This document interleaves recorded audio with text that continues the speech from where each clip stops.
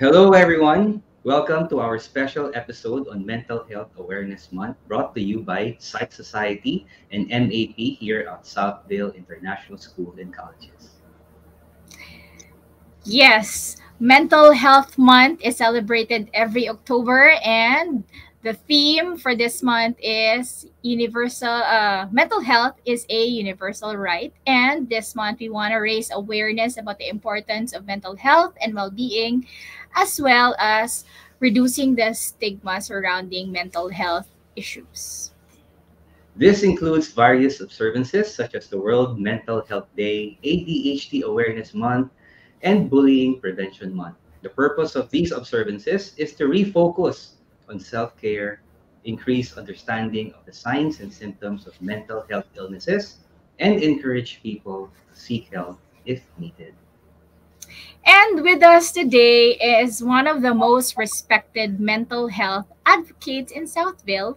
And of course, she was also one of our professors. Ladies and gentlemen, please welcome Miss Jing Klimakosa. Hi, Miss Jing. Hi, Miss Jing. Hello. Hi, Vince. Hi, Clarice. Yes, how are you? I am good. How are you? Excited for World Mental Health Month. yes. Yeah. We're also excited and we're we're really happy that you accepted our invitation to be interviewed for this show today. So, Miss Jing, let's get started. We want to know more about you, um, what you do, and how you became, um, you know, someone who's in the in the profession of psychology. Okay, so um, uh, again, I'm Jing. Uh, I am uh, a director of a multinational company um, here in the Philippines, and I'm also a part-time faculty for the College of Psychology in Southville. Uh, I recently finished my graduate studies, also here in Southville, uh, with a degree in master master in arts and psychology. Um and so my but my psychology uh journey actually started uh maybe three or four years ago. Um, as part of my uh, work responsibilities i uh, have certain people management and talent development responsibilities. And uh, one of the people that I was working with actually expressed uh, suicidal um, ideation. And at the time i didn't know what to do. So i was panicking inside. Um, but luckily i was able to get the support that i need. And we were able to get the help that uh, this employee that i was working with uh, needed. But that highlighted to me that i was so unprepared uh, for for these types of uh, concerns, these types of issues. So um, I took it upon myself, you know, to educate myself and to learn so that I can be of help to others. Yeah. Yeah. Um, what a wonderful story about you know really being proactive, I guess, and really having the heart to help people. Yeah, and, and I think this is how and you know why mental health is so important not only in our daily lives but just to have that open conversation on how people can help manage you know, these mental health illnesses. Now speaking of which miss jing mm. can you tell us what is mental health and why is it so important for people to understand mental health? Okay. So um, our mental health it's you know uh, it's it's how we're feeling inside no? How we are emotionally it's as simple as that. Um it's it comprised it's comprised of our emotional health our our social well-being our psych- psychological well-being. Um and it is as important as our physical health no? Um usually it's set aside um in favor of physical health but in fact uh, they are uh, equally important. And according to the World Health Organization, mental health is actually a basic human right, no? Um, so it might be easier to think of mental health like we think of the weather. So sometimes, you know, when the weather is good, uh, the days eh, they're bright, they're sunny, right, and we feel happy, and we want to do things that make us happy, like you know, when it's sunny, we go out, we work in the garden, we get exercise, maybe do some sports. um, but there's also days when the weather gets dark no it's dark it's rainy it's dreary and we don't feel like going out of the house or sometimes we don't even feel like getting out of bed diba? so similar to the weather um, we can also have periods where our mental health is full of energy you know bursting with energy um, but it can also be dark no? And we feel that we don't have the energy or the motivation to do even the simplest most ba- basic things there. Um, but having good mental health um, makes life easier no? So that's why it's very important because uh, when we have good mental health we're more calm we're able to comfort ourselves we're able to establish and maintain good relationships with others. Um, but it's also important to understand that having good mental health doesn't mean that we feel good all the time. Uh, Mhm. we all have our, you know, our, our ups and downs. Uh, but uh, having, uh, you know, having, uh, knowing how to manage our mental health uh, helps us in those periods when we don't feel so good all the time. Yeah. Yeah, such such a very good analogy, no. Sometimes when you say mental health, it seems so complicated, such a big concept, especially for Correct. someone who doesn't have a background in psychology. But um using the analogy of weather, it's so easy to understand. Ah, yun lang pala yun. Um, you know, how how the weather changes and that's how mental health also um, changes based on several factors. So yeah, thank you. Thank you so much for that. I, I really like how how simple it is, but really helps us understand that. So um yeah, we wanna bring it into context within our country. Would you say, Miss Jing, in the Philippines, mental health is being given enough attention? And what would you say, um, as a follow up, are the common health mental health challenges Filipinos often face? So I think that we are getting there in terms of uh, you know prioritizing mental health. Um, recently, the mental health law was passed, um, and uh, that allows us to provide more support to a greater uh, greater part of of the of the Philippine population um the the budget is also there. I mean it's increasing. So i read that in the 2023 uh, budget i think there's about 2 trillion allotted for the national center for mental health which is good. Um, and if you look at the trend it's been increasing no since uh, since the early uh, 2018 2019 so I, I think in that sense we're able we our leaders recognize the importance of uh, mental health but that said, um, there are still a lot of things that we need to do. For example, um, last year, uh, the ratio of of uh, mental health professionals to Filipino citizens is only three for every um, eighty thousand. Hmm. So you know, can you imagine um, uh, the the the challenges no of seeking uh, or getting professional help ba? If, because because the number of of professionals who can provide support is is so small. Uh, at the same time, um, the cost of uh, mental health care is also quite high.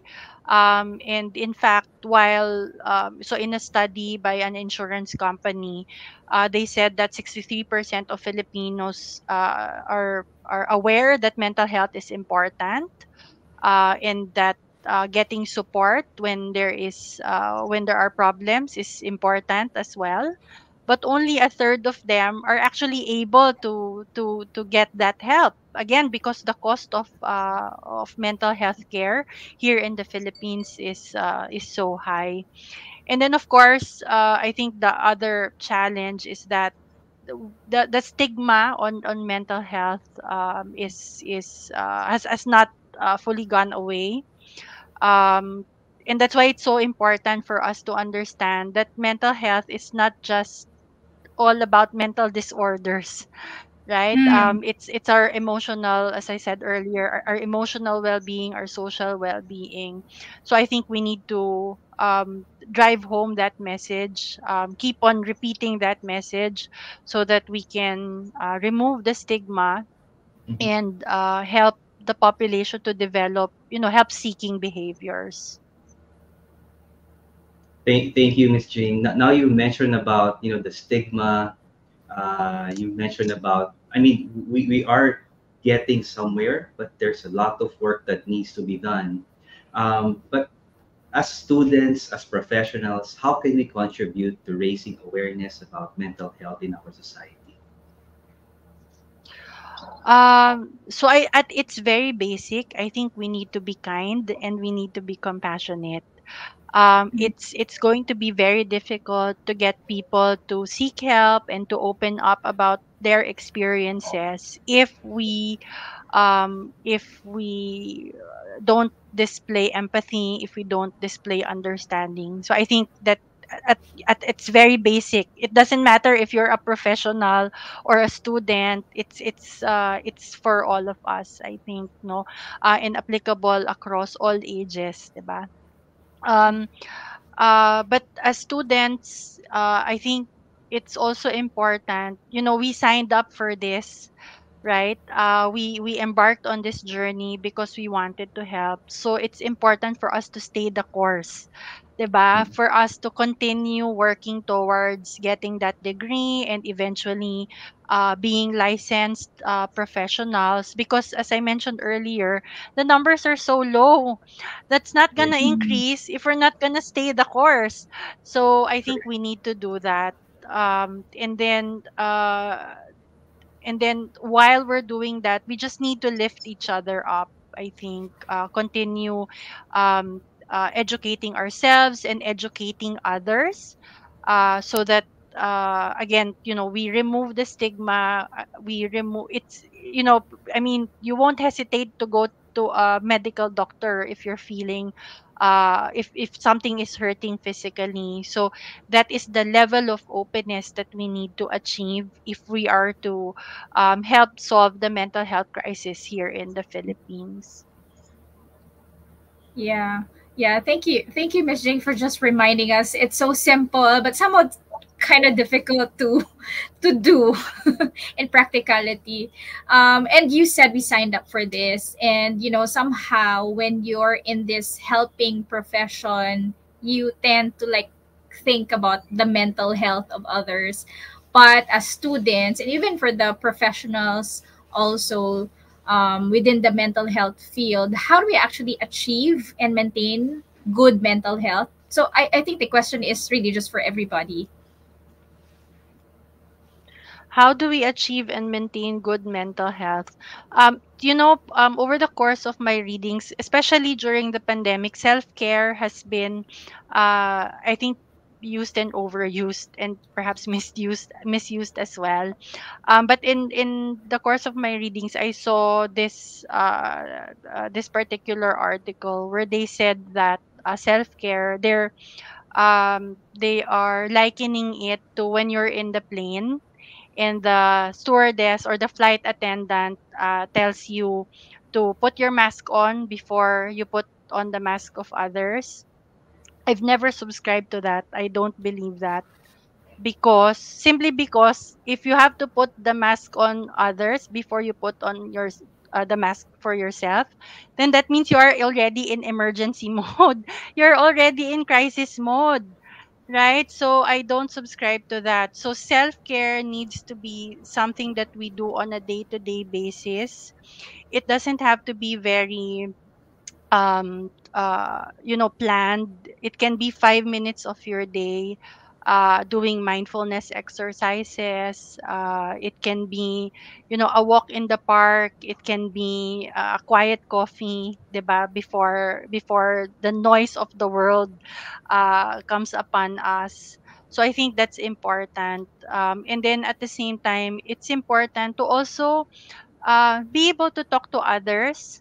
No, so just because we are uh, psychologists or studying to be psychologists, it doesn't mean we don't need help. We also do. So um, let's also seek help, diba? um, I think that is how we build our network, we build our connections, but at the same time, it's also how we keep sane, right? Um, and and help us to to again to block out you know the noise, um, and and and you know listen listen I guess to the there are inner musings, our inner thoughts and ideas, and uh, so that we're able to be calmer and um, uh, again focused in terms of what we want to achieve as as uh, helpers of people Hey, yeah, and you. I heard massage is good. Self yes.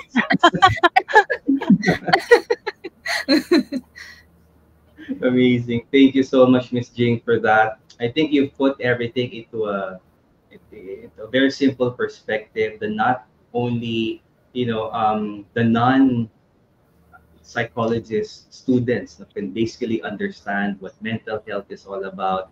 Uh, you know how conversation should be opened up. You know, in different areas, mm-hmm. whether in school, at home, or in the workplace. How important mental health is all about. And you know, we really appreciate you being here today. But you know, be, before we end our discussion, do you have any final word for us and for our viewers? Um, so I guess let's not think of mental health because it's I mean we're doing this because it's World Mental Health Month. Um, but uh, it it doesn't stop here. We all have a mission. Um, and and again, we just need to stay that course.